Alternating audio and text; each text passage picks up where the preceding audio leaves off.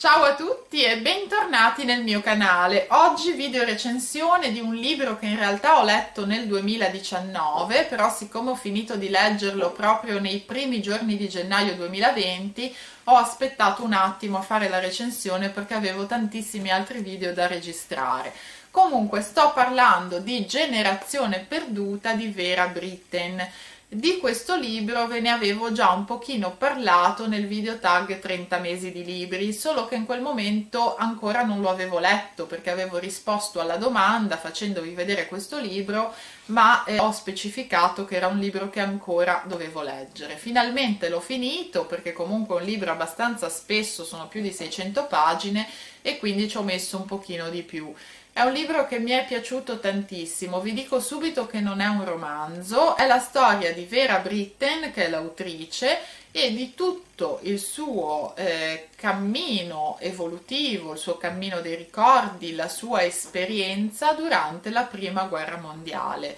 È un libro che quando comincia eh, vi fa subito capire qual era la sua visione della guerra appena questa è scoppiata, perché lei l'ha vista come un'interruzione ai suoi sogni e ai suoi progetti, quindi un po' una scocciatura, una cosa che le dava proprio fastidio per questo motivo. Poi piano piano, quando comincia a entrare nel vivo, a vivere comunque delle esperienze in prima persona, e soprattutto eh, comincia a perdere le persone care, non è uno spoiler perché voi lo leggete già in quarta di copertina questo,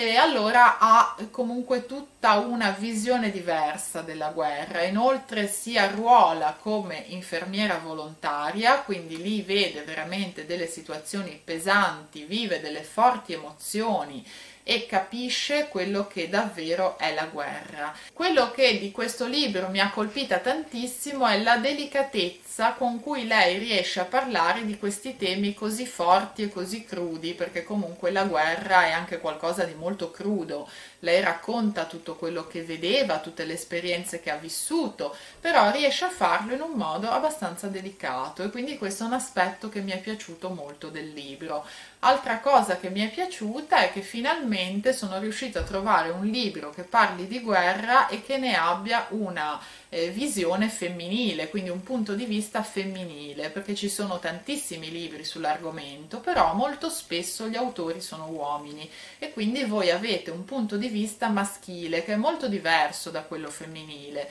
perché quando si parla di guerra, secondo me gli uomini e le donne hanno due visioni diverse e io ho apprezzato molto poter leggere anche questo tipo di punto di vista. È un libro comunque che vi consiglio se vi piace il genere Devo dire che l'ho trovato abbastanza scorrevole, ma in alcuni punti ho fatto un po' più fatica, perché ci sono dei punti che sono molto descrittivi e quindi per me sono risultati più difficoltosi e più lenti, semplicemente perché io non amo le lunghe descrizioni. Non mi piacciono i libri troppo descrittivi che si perdono troppo in eh, descrizioni molto minuziose e dettagliate e in questo libro ci sono dei punti che sono un pochino così, però sono solo dei punti, quindi per fortuna eh, poi sono riuscita ad andare avanti perché il libro poi si riprende, ritorna abbastanza scorrevole, quindi diciamo che alterna dei punti un pochino più eh, lenti a punti un pochino più eh, scorrevoli e un pochino più veloci anche da leggere. Comunque è un libro che in generale ho apprezzato moltissimo per il tipo di tema trattato sicuramente non è sempre facile la lettura perché ci sono dei punti in cui lei descrive il dolore della perdita, eh, il dolore della guerra, i sogni che comunque sono stati infranti a causa della guerra, quindi insomma è un libro pesantino dal punto di vista proprio emotivo, quindi eh, se volete leggerlo tenete presente che il tema che lei eh, tratta e le cose che racconta sono cose che sono realmente avvenute e comunque eh, si tratta di situazioni di guerra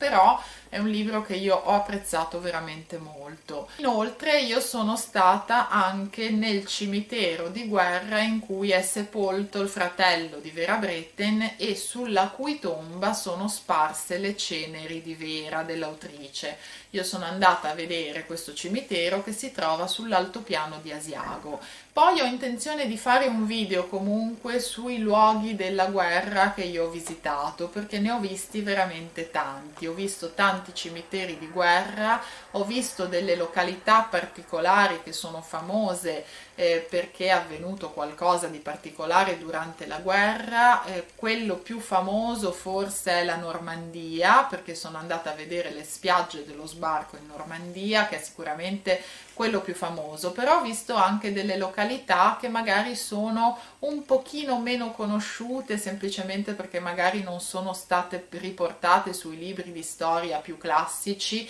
ma sono riportate solo in libri un pochino più specifici. Comunque, insomma, più avanti poi farò questo video. Comunque, tornando al libro, devo dire che assolutamente è stato apprezzato, ve lo consiglio, vi lascio giù in info box il link per acquistarlo su Amazon qualora vi interessasse e vi dico che hanno fatto anche il film. Il film l'ho visto, l'ho visto prima di leggere il libro, tra l'altro, mi è piaciuto molto anche il film, ovviamente nel libro ci sono più dettagli, ci sono più descrizioni, ci sono tante cose che nel film non vedete, ma questo è normale, perché non si può fare un film che sia esattamente dettagliato quanto un libro, perché il film deve avere anche una durata abbastanza breve, non possono fare un film di 12 ore, a meno che che non facciano una serie tv, allora è un'altra cosa.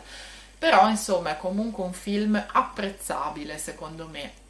quindi anche questo io ve lo consiglio. Non so se sia disponibile anche su Netflix perché sinceramente non ho guardato, non l'ho cercato, eh, però credo che sia abbastanza reperibile anche il film.